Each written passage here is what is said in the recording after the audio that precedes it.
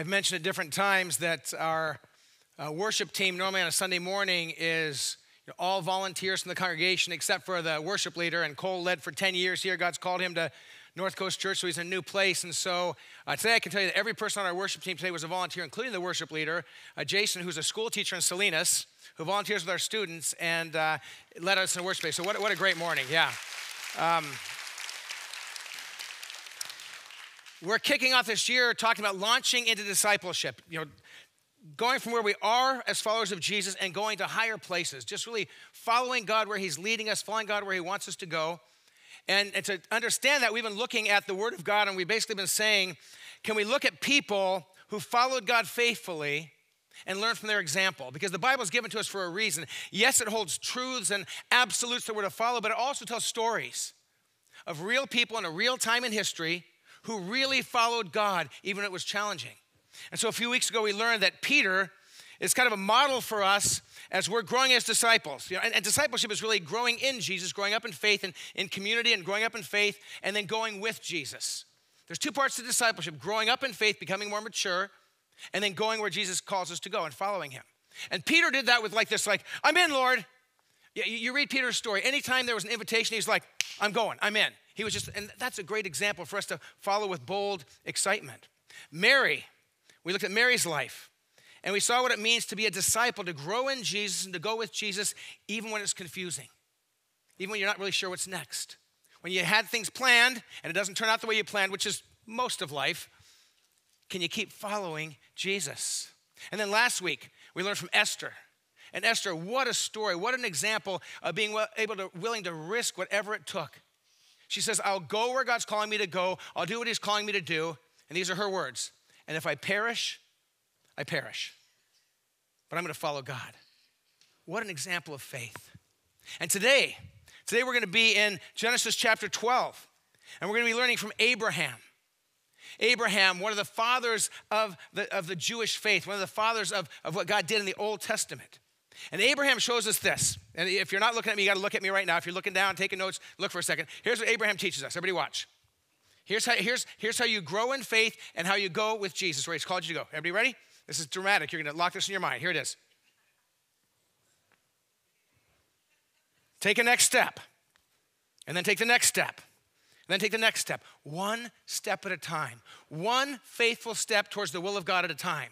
See, oftentimes when we think about following after Jesus, growing in Him, we look at the end result, where we want to be. And it's so far from where we are, we just give up. I never get there. The Apostle Paul says in Ephesians chapter 4 that we are to grow into the measure of the stature of the fullness of Christ. That's God's goal. That you, if you're a follower of Jesus, if you're not a Christian and you become one, this will be his goal for you.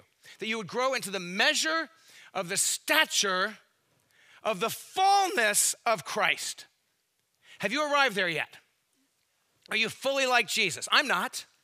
And I've never met anybody on this planet who is. So when we look at that, it can feel daunting. It can feel like it's just too much, unless you just take the next step. What's the next step God wants for you to take? Now, at the end of the message, and most pastors won't tell you at the beginning what the end is going to be, at the end of the message, we're going to stop and take time for prayer. And I'm going to invite every single person online, every person on campus to pray about what's their one next step of faithfulness to boldly follow God. One next step. Here's my suspicion many of us already know what it is.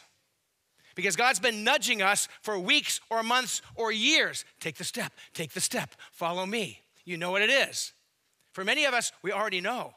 The question is will we be inspired enough and moved by the Spirit of God and by the truth of the scriptures to say, today's the day I take that step. Today's the day I move forward in what God wants me to do. And so we're thinking about following one step at a time, learning from Abraham, and, and the song that we just heard sung so beautifully. I was listening to that song, and I actually didn't have this in my notes, but as I was listening to the song, I just pulled up my notes and wrote this in there. Here's in the song, here's what, what, some of the lyrics. I could just stay. I could just stay where I am. I could hold on. cling on to what I have right now. I could never leave home. Find that safe place, just tuck myself in, I'm good. But then the song says, But you have called me higher, you have called me deeper, so I'll go. God has called us to more than we imagine or dream. will you today open your heart and say, God, I'm ready to take my next step? Because it's easy to get stuck. And we're going to learn this about Abraham in just a moment. But I have a question for you. Have you ever gotten stuck along the way? Have you ever gotten stuck? Start treading water, kind of just not moving anymore. Have you ever had an experience where you get stuck? Getting stuck is really, really easy. I saw this picture as I was thinking about getting stuck, and I want to show it to you. It should show up on the screen there. It's a. Uh, some people say, oh, it's cute, but have you ever been there?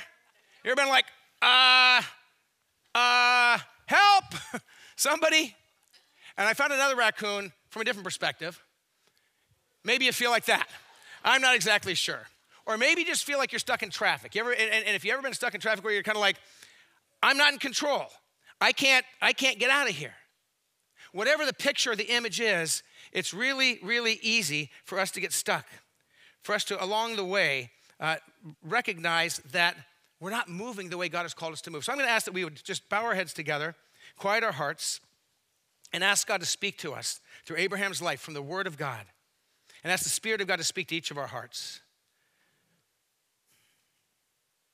Living God, there's many people here today who may be feeling stuck in different ways, maybe moving ahead in some areas, but in some areas they just have gotten stuck. And you're inviting us, you're, you're calling us to follow you. Jesus, you set a path for us, and step by step, one step after another, we can become more and more like you. So, our prayer is that wherever we're stuck today, Lord, you would begin to break things loose. Wherever we need to take that next step, we would have clarity in our hearts and our spirits from your word as to what our next step is. And Lord, our prayer, not just my prayer, Lord, our prayer is that before this time is done today, we will commit ourselves to, to the one next step you've placed in front of us and be faithful to follow you, even as Abraham was faithful.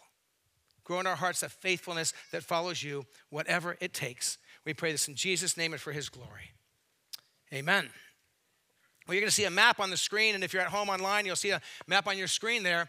And what I want to show you here is sort of Abraham's journey. Uh, down in the bottom right corner there, you'll see in, in, in Chaldea there, Ur, and that, that was the region where his family was from. And they made a move. They were going to move all the way over to the left side of the map in that box there, the promised land, the Holy Land. That was the, that was the goal. So his father leads the family, and off they go, and they start traveling. Now, you wonder, why don't they just go straight across? It's a desert. It's hundreds of miles and you would die. So they go, they follow the Euphrates, they follow the river uh, network there, and they follow around, and they get about halfway there. See the very top, it says Haran. They got there on their way to Canaan, to the promised land, and they just stopped. They just camped out. And they stayed there for years. On the way to the promised land, and they get there, and the whole family just stays stuck, not making it where they were going. And so, I want you to listen to these words from Genesis chapter 12, verses 1 through 3. If you have your Bibles, you can follow along. If you have a Bible app, you can go to Genesis chapter 12. Years have gone by. Abraham's father has finally passed away. Now, Abraham, in, in the ancient world, there was this really strong family ties. But now he feels free to kind of continue the journey. And God calls him. The Lord said to Abraham, Go from your country, your people, and your father's household to the land I will show you. Now, understand, they're in an intermediate place. They're not back in Ur, they're in the kind of in between spot. And God says, Go to the land I'll show you. And listen to what God tells Abram. He becomes Abraham. He's Abraham at this point. I will make you into a great nation. I will bless you. I will make your name great, and you will be a blessing. I will bless those who bless you, and whoever curses you, I will curse and all the peoples on earth will be blessed through you. God calls Abraham to go. But it's always easier to stay. It's familiar. My family's here. I know these people. I know the landscape. It's almost always in life easier to stay where we are, even if where we are isn't the right place. Sometimes you look at people and you say, Why don't you get out of that situation? It's not healthy, it's not good. Yeah, but it's familiar. So we hunker down and we ride out the storms. But sometimes God calls us to take a step, to move on. And so Abraham is invited. But what we see is, is that one step at a time, he begins to follow. One step at a time, he goes where God has called him to go. And so, again, we're going to just pause and pray. Lord Jesus, would you lead us today? We find the familiar settings of life the most comfortable, but following you is always an adventure. It's rarely the same as the way we've set our lives up. So, where we're stuck, begin to break things loose. Where we need to go, begin to lead us, we pray, for the glory of Jesus. Amen. So Abraham follows. He goes, and he ends up in the promised land. He gets there. Now, now I, I can tell that story, and it sounds really easy. There, was, there were real challenges involved. It was hundreds of miles to get there. But step by step, one step at a time, God leads them to where he wants them to be. And, and here's, here's an interesting thing. When, when Abraham's father passes away, how old do you think he was? Well, he was 75. You might have pictured, well, when his dad passed away, now, now I'm, I'm, I'm free to go where I want. You figure he's maybe 15, 18, maybe early 20s. He's 75. Again, family ties in the ancient world, very tight. And staying where you were seemed more comfortable.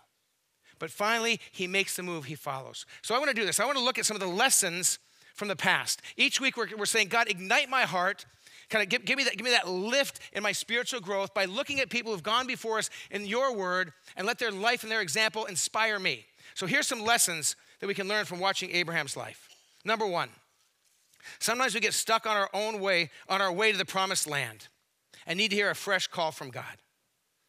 For, for Abraham, he was heading with his family, he was going, he got half, about halfway there, and got stuck. Sometimes we get stuck. We have to acknowledge that. That was Abraham's experience. And on our way to the promised land, we may not get to where God's calling us to go. Now, if you're a follower of Jesus, if you come to the cross, confessed your sins, and accepted Jesus, heaven is your home. And that's where you'll be one day. But in this life, oftentimes God has more for us than we imagine, and we can get stuck along the way. That happened for Abraham. At 75 years old, he finally started to get unstuck. Number two, as we look at Abraham's life, the next step can seem costly, maybe too costly. Sometimes we stay where we are, and, and for, for Abraham, this was the fact. For Abraham, he was where he was, and it was comfortable. He knew the people, he knew the place. It was a place he'd settled into.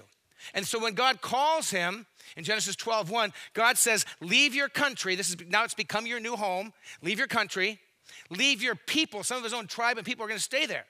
So now you're leaving your country, he's leaving his people and now take your family with you and make the move.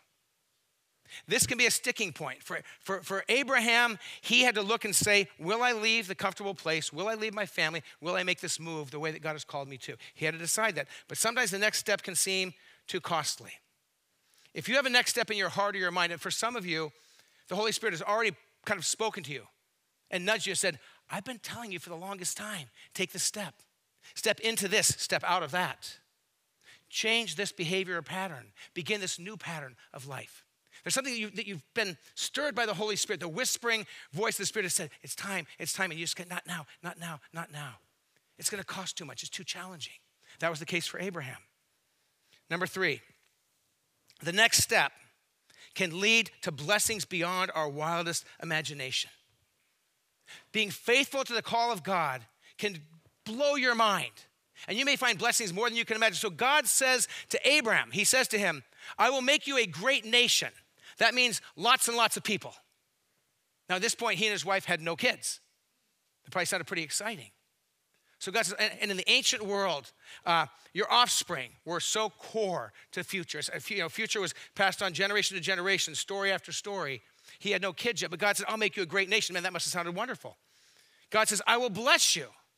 When the God of heaven says, I'll bless you, man, that's, that sounds pretty exciting. God says, I will give you a great name. You have to understand, in the ancient world, in Abraham's day, a person's name was their character, was their, was their story, was who they were. And God said to Abe, Abraham, I'm going to make your name great. For us, a name is what we got from our parents. For them, it was a reflection of their whole life, who they were. And God says, Your name will be great. And to top it all off, I will give you a land. In the ancient world, land meant everything. When you had a piece of land, a place you belonged, you could put down roots. So God says, I want you to move from this place, go here, but when you get there, I'm going to give you a land that will be yours and the land for your people. So, so God says to Abraham, I'm going to bless you in amazing ways. Do you know there's times where God invites us to move and promises blessing and we still stay stuck? because it's comfortable, because it's familiar. A fourth lesson from Abraham taking the next step can be world changing. When you take, for, for, for, for Abraham, he's here, he's in Haran, he's called to go to the land of Canaan, and that first step to begin moving down the road towards God's will for him became a world changing event. How can I say that? In Genesis chapter 12, verse 3, God tells him, I will bless you, and you will be a blessing to the ethnos, to all the nations, to all the people of the world. God tells, tells this one guy, Abram, who, who he would eventually, God would change his name to Abraham. God tells him, I will so bless you that the blessing I pour on you will overflow to every nation in the world. Because through the line of his people would come the Messiah, the Savior of the world. And all the world could be blessed through Jesus. Now, Abraham doesn't understand all that. He just knows that God says to him, I will, I will bless you and you will become a blessing to all the nations. But when you take the step, when he took that step, it opened the door for the world to be blessed. Thank the Lord for that courage. A world changing vision. As I was thinking about this, I thought about the, the mission statement of Shoreline Church. And if you're at home, you won't, probably won't see the top screen here, but I said put it in small print. I, I don't want it to be too uh, overstated here, right? Subtle, right? Uh, Shoreline's mission to help as many people as possible become totally committed to Jesus Christ. That was the mission of Shoreline Church before I became the pastor here um, almost 14 years ago. It's still our mission today to help as many people as possible. We want to reach the world, help them become totally committed, grow as disciples. To who? To Jesus Christ. That's a world impacting vision. And when you follow God's vision, God does amazing things. Number five, another lesson from Abraham's life it is never too late to take the next right step. It's never too late. Lord, I've been stuck here for a month. I, felt your prompting. I felt your conviction. I, I was in the scripture, and again, you just kind of convicted me. I got to take this step, and I haven't done it. It's just too late. No, it's not. Abraham is 75.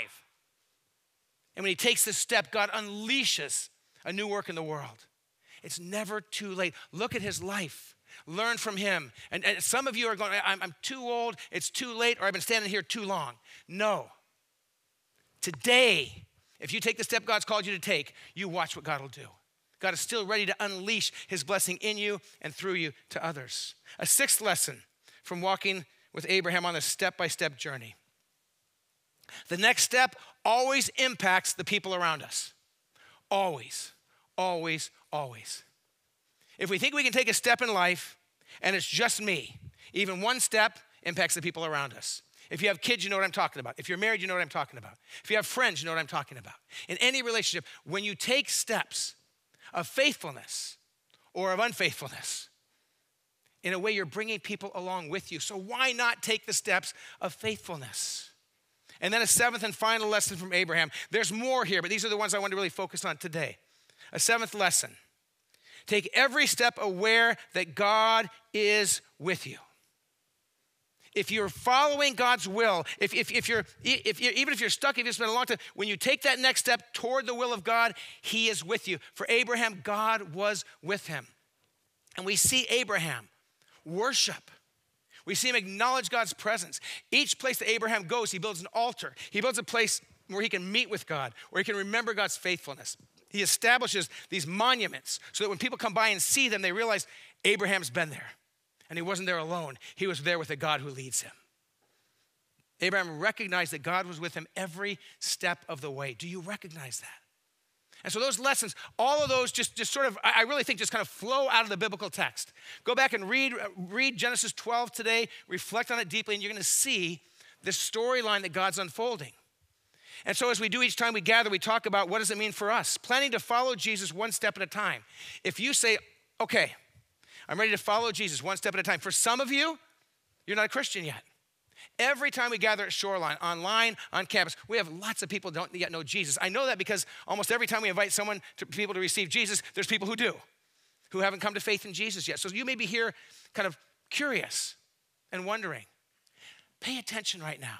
Because if you give your heart to Jesus and begin to follow him, you're going to recognize some things that will become part of your life. But if you are already a Christian, I want to think through these seven lessons from Abraham, and I want to just let the, kind of the mirror of Scripture kind of reflect on us. So each of Abraham's lessons that he learned, they apply to us. Because this is what it looks like when you follow God one step at a time. So let's think about our lives. And now, and hopefully your hearts and minds have been on the scriptures, you've been on Abraham. Right now, I want you to just think, okay, so now I'm going to think about what it means to follow God one step at a time in my life for me to do this. And each of these lessons can impact your life.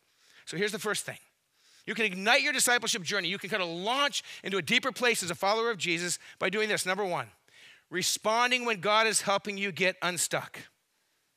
Responding when the Spirit whispers, when you're reading the Bible, and there it is again, there's that, that truth from the Word of God that challenges that convicts you. It's time to stop that. It's time to start that. It's time to go deeper. It's time to take a risk and follow me. Every time you do, you can ignite your growth by, by actually responding when you feel God is speaking to you. I love the story where Jesus comes to the man by the pool. And this man's been laying there for years, for years. And every time the water bubbles, there's this superstition. It wasn't true, but there's this superstition that if the water bubbled, the first one in the water got healed. But he could never get to the water in time. And he's waiting and waiting and waiting and waiting and waiting. And Jesus comes to him. And Jesus says, Do you want to get well? Do you want to be healed? Now you might think, What a dumb question. He's by the pool, he's waiting, he's there. But Jesus is saying, Yeah, I get it, you're here, but do you really want to be healed? Are you really willing to change your life? Or have you become so comfortable being stuck here by this pool that this has become your new home and you're not leaving? Do you, are you serious about this? I think Jesus asked that, asked that question. I mean, in, when Jesus walked on this planet and when people wanted to follow him, he'd say, Well, here's what you need to do just deny yourself, be ready to die every day, pick up your cross, and just go wherever I go. Follow me. Oh, that's the journey. Follow Jesus. Follow Jesus. Deny what I want. Count the cost. Follow Jesus. Follow Jesus. If I had known the day I became a Christian, all that God would call me to do, I don't know if I could have taken the step. All I had to know when I was 15 years old, was, all I knew was if there's a God who really loved me, and if Jesus really died on the cross for me, it was, this is my step. Jesus, if you want me, you can have me. That was my first step. Simple prayer. If you want me, you can have me. I wasn't totally sure God was real. I grew up in an atheistic home. I didn't know if this was all true. But I said, God, if you're really there and if Jesus really died and rose and you want my life, you can have me. And God said, Oh, I will take you. Just like you are right now. But I'm not going to let you stay there. and all I had to know was that next step. And so be thinking, let the Spirit speak to you. What's your next step? And when God shows you, take that step, take it. A second thing that will ignite your discipleship journey is counting the cost of following God's will and God's plan. Count the cost. Say, if this is God's will, if this is God's plan, and I know it's going to cost me, I mean, I'm, I'm, from, I'm in the familiar, I'm in the comfortable, and taking that step is going to cost me something, I know that there could be a cost involved. It's not always easy, it's not always smooth. It's not always that God kind of goes ahead and brushes every little uh, bump off the road and says, just walk the smooth path. Following Him can be challenging, but will you follow Him even when it's challenging? I've shared with some of you in different settings, but uh, when Sherry and I were engaged and getting ready to get married, I wanted to give her a real picture of what it's going to be like to be married to me. And, she, and so she wanted, to, she wanted to raise a family. And I was living on a pastor's income in Southern California, barely making ends meet. And then we were talking about now me supporting a family. So I said, Sherry, you have to understand something. If you marry me, we'll never own a home. She grew up in West Michigan where you get engaged, and when you're engaged, you kind of start looking around, and then right when you get married, you buy your first starter home. You know, you spend what, about $50,000, $60,000, you buy a home. Hello. Um, not that way anymore, but going back a few years. But you know, and then and then after a while, you can move to the next home. And, and I said to her, honey, if we're gonna get married, you're marrying a guy who makes X amount and homes cost X amount. At the time, I think interest rates in Southern Cal- or in California, or interest rates were like 12.9% or something. And, and so we looked at it and did the numbers and said, we will probably never have a home. And she said yes.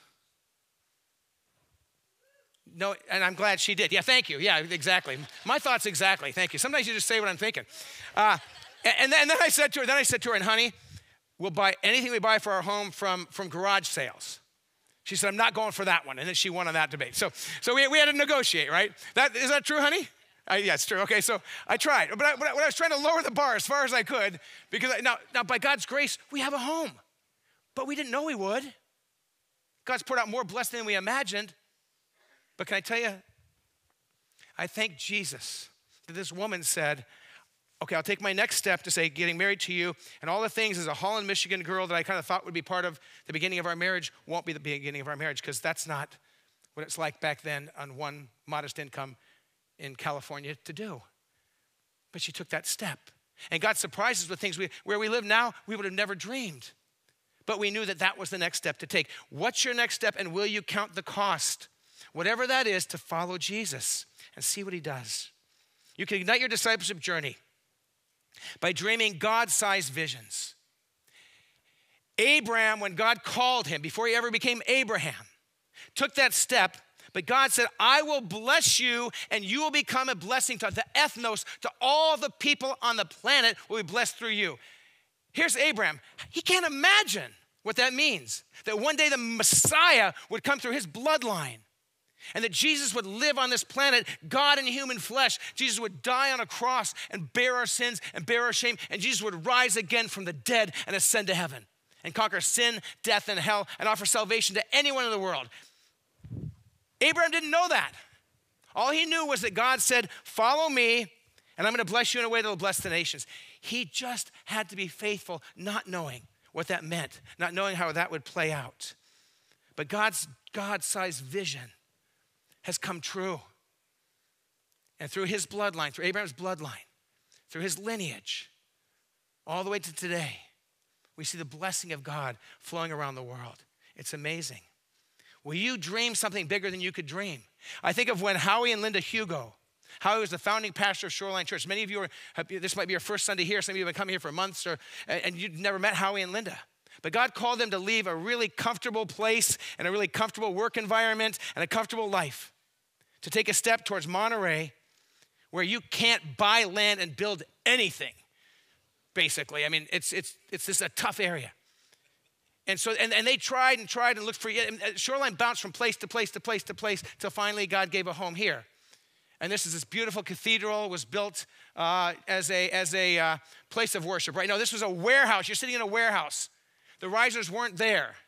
When we started in this space, the sound in here was so bad because it would bounce off. You know, see all these things on the wall, the weird shaped things? Those aren't decorations. That's so that we can have sound in here. Because this room wasn't built, it wasn't built for this. But Howie and Linda said to God, We'll take the step, we'll move to Monterey. We'll, pick up our, we'll, we'll pack up our family and we'll go to a new place, a God sized dream. Anybody want to say praise the Lord for their God sized dream? Yeah, thank you, Jesus. Right? That people choose to do that. Yeah, amen. Amen. And so dream big because God is a big God. Ignite your discipleship journey by believing God's mission applies to your life. That you would understand that the mission of God is your mission. God's mission for Shoreline to help as many people as possible become totally committed to Jesus Christ. That's, that, that's God's vision. That's God's dream. And so we've got to walk in that. We've got to live in that. We got to believe that, that, that God's mission is not just for those, it's not just for Howie and Linda. It's not just for Abraham. God has a mission for you. He has a plan for you. He wants to shine his light right where he's put you. Do you know that if everyone who's part of Shoreline Church looked at wherever you went, wherever you go tomorrow, if, everyone, if you're not part of Shoreline, you're visiting today, wherever you go tomorrow, if you were to say, I'm going sent by God on a mission to bring his love and his light, that would impact thousands and thousands and thousands of people in this community. Let God's mission become your mission. Let it grow in your soul. Ignite your discipleship journey. If you're a note taker and writing these down, this would be the fifth thing. By taking the next step now. Taking the next step now. When God called Abraham to go, he went not knowing how it was going to turn out. He responded. Can I tell you what's, what's very likely going to happen in the next hour to two hours? For many of you listening online, for many of you listening on campus, as we're talking about this, God put something in your heart. And we're going to take a quiet moment to reflect in just a moment and ask God to speak to our hearts. But God's going to stir something in your heart. It's time to take the step. It's time to be bold. It's time to trust me. One step, but here's your next step. And you're going to say, I'm doing it. I'm finally going to do it. And then the enemy's going to come and begin to whisper in your ear, Don't do it. It's going to go bad. It will be uncomfortable. Don't do it. That's for people different than you. You don't have enough faith. You don't love God enough. You're not bold enough. Those are lies from the pit of hell. So, what God stirs in your heart today, take that step and watch what God does. And once you take that step, you know what you get to do next? Take the next step. Okay, Lord, what's next? One step at a time. But take that one next step today or as soon as you can and don't give it a chance to grow cold in your heart. And then, number six, if you want to ignite your discipleship journey, invite the people close to you on the adventure of following Jesus. Invite people who know Jesus to walk with you into what he's leading you in, if they could come alongside with you. And, and, and, invite people to, to recognize that as God's leading you on a journey, and if you're in relationship with them, they might be able to enjoy that as well. I think about when, when we were praying, the first time I was invited to be a lead pastor at a church. And it became the, the first church I went to as a lead pastor. And sure, I was thinking about this earlier. Our boys, I think when we went to that, to that church, they were like one, three, and five about. Does that sound about right? Is that, would that be right? No, no, no. They were older, like two, four, and six. Yeah, but our boys were little. And I remember talking to our boys about the fact that God was asking us to leave the church, you know, could be asking us to leave the church we were at and go to this new church. And our oldest son, Zach, said to us, Yeah, Dad, I don't want to go to that new church. I like our church here because it was familiar. He didn't know what the other church was going to be like. So he was ready to stay. I mean, he's a little kid.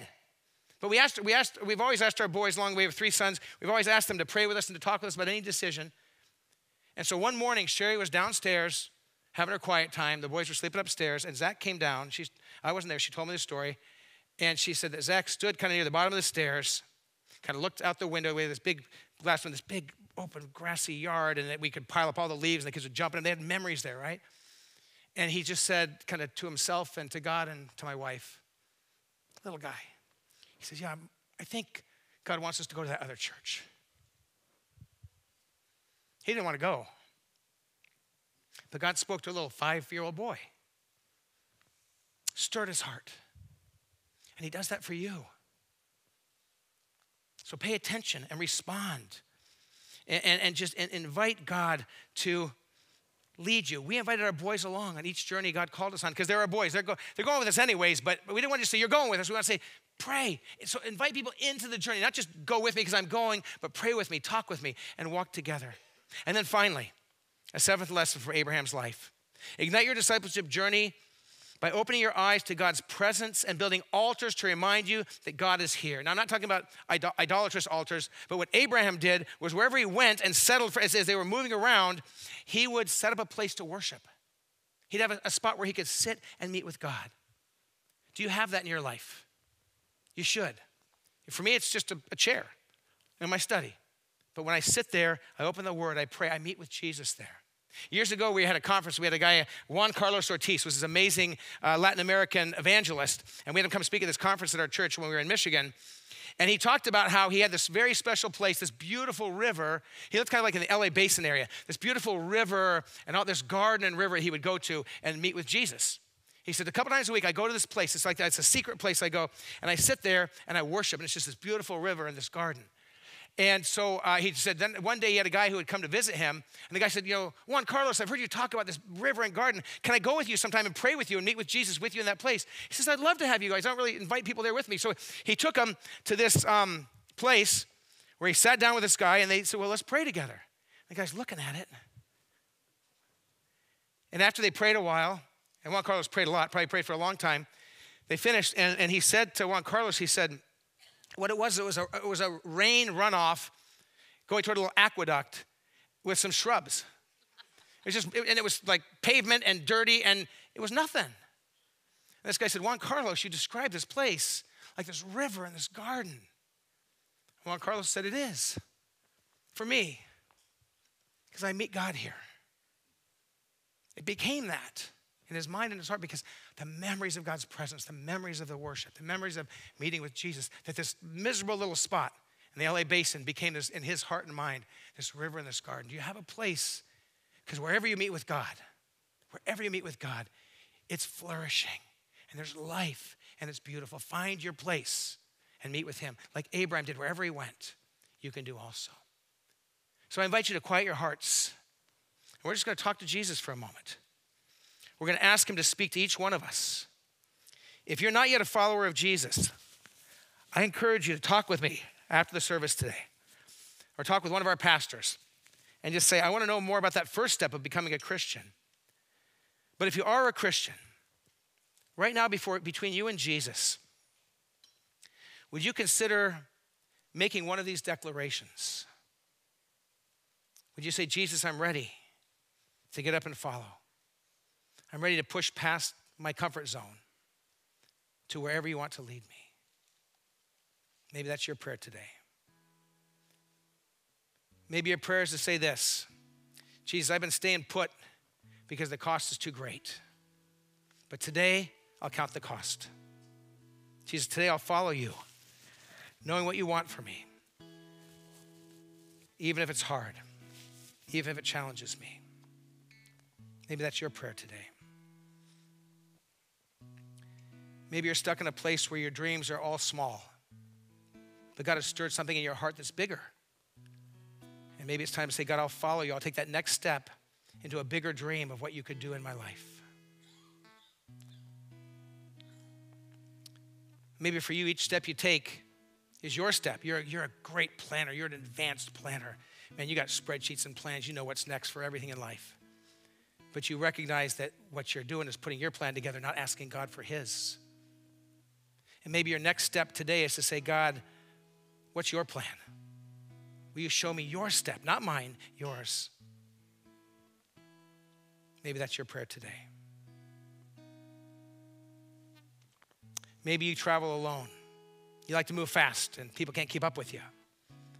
But to travel in community, to bring people along with you, sometimes you got to slow down. Maybe today you need to say, Lord, slow me down so I can invite other people along on this journey of following you. Non believing friends need to be invited to see you, Jesus. Christian friends, family members who I kind of leave in the dust, honestly, because I'm just moving so quick. Maybe today you say, God, I'm going to slow down and walk in community with others. Maybe for you today, what God wants to do is invite you to make a place, to find a space, a place to meet with Him. And sometimes some of you with your business, your work, you travel a lot. So maybe you have to set up a couple different spots. Or maybe it's just a, a condition of mind where you say, wherever I am, I'm, gonna, I'm just going to find the most convenient spot and it's going to become a garden. It's going to be kind of a running, running river of God's presence. Invite God to speak to your heart. I have no idea what your next step is that God has for you, but God knows, and He wants you to know. For some of you, He's been already leading you to take that step, and today's the day you're going to do it. And once we take that step, just asking God again, God, what's the next step? That's, our, that's the life of a Christian, one step at a time, following after Jesus. So, Jesus, we pray that you would stir our hearts, that you would ignite our lives as we grow in you, as we go with you wherever you call us to go, as we become more and more your disciples, your followers. Give us the courage and the strength to take one step today. And then when you show us the next step, Lord, it'll be easier to take that step because we make it a lifestyle, step by step by step. And I pray, Lord Jesus, that in your power, in your glory, in the victory of the cross and the empty grave, that you will silence the lies of the enemy that keep people stuck where they've been and not going where you would call them. Let us follow your voice, follow your word, and follow your leading. We pray this, Jesus, in your name and for your glory. Amen. Amen. Before I send you off with a word of blessing, I want to give a couple invitations. This Wednesday night, 615, is the best Wednesday night of the month, night of worship. We gather to share communion together, to celebrate Jesus. We're going through Psalms of praise. We're going to worship together. So Wednesday night, 6:15, and there's a great children's program Wednesday night, 6:15 for the kids going on here on campus. So come, bring the kids, get them set up to be part of that. So join us Wednesday night for night of worship. And then today, for some of you, your next step is going to be knowing what God has for you next, how God wants to work in you and through you. So we have a class on spiritual gifts. And my wife Sherry's heading out right now. She's going to be uh, she's going to be actually leading that class. Um, and after, let me see, it should say up here. It is at 10 o'clock today. 12 o'clock in the garden room and one online, 1 o'clock for you online, so everyone can be part of this. You can find out how God has uniquely gifted you. You'll actually do a survey tool. And then, if you want to, you can meet with one person who will walk you through how you can begin to unleash your gifts and take steps of following Jesus. For some of you, you've never done that. Maybe that's your next step today at 10 o'clock, 12 o'clock, and online at 1 o'clock. If you need prayer, Our prayer teams will be in front on both sides of the stage here. They would love to pray for you. Some of you over the years have felt led to come up for prayer over and over, and you've never done it. I don't want to bother them. Maybe that's your next step. Stand up, come forward, and be prayed for. And so if you're if you're online, call the number you see, and someone will answer the phone and pray for you. Or you can send your email uh, prayers in, and we'll put it on the prayer list for our prayer team. And then finally, if you're new, if you're new with us on uh, uh Shoreline on your online, just text the word welcome to the phone number you see right at the bottom of the screen. Text welcome, and we will reach out to you and give you a warm personal welcome. If you're on campus, uh, head to the Connection Center right there in the lobby. They want to give you a gift bag. Thank you for coming and answer your questions, give you a warm personal welcome. If you're able to stand, would you stand with us? If you're at home, if you're in the family worship venue, if you're able to stand, would you stand with us and receive this word of blessing?